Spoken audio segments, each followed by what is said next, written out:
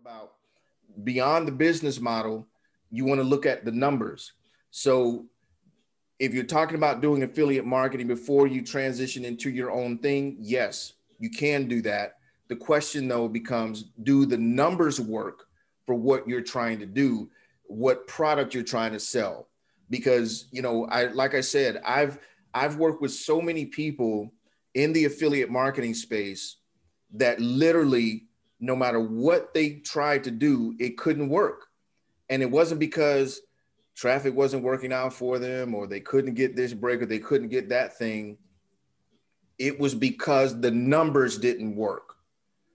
The fact of the matter is, if you're selling a $100, $200, $300 program, you have to be great at ads in order to make that profitable. I'm not talking about being good at ads you have to be great at ads in order to make that profitable.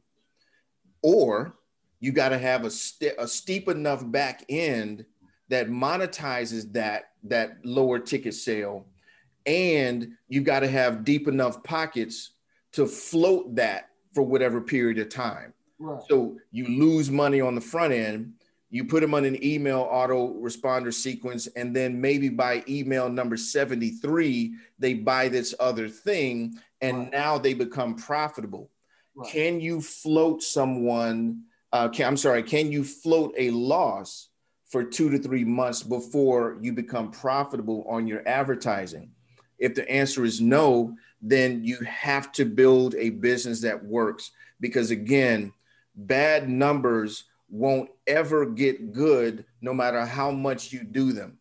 You, you cannot make up a profit loss with volume. You, you can't do that. No, you just so, lose more. right. Absolutely. And, and that's one of the challenges that a lot of people have. They think, well, if I just do more of this, I'll, I'll end up making X amount of dollars. No, you won't. You absolutely won't. So, um, so again, yes, Colin, to answer your question, yes, you can create a, a, a, logical progression from one business model to another. However, I would just ask that you, whatever you decide to do, is that you do it from something like this opportunity metrics where you've looked at the numbers, the numbers make sense, the numbers are achievable, and then we can pro- progress into that next business.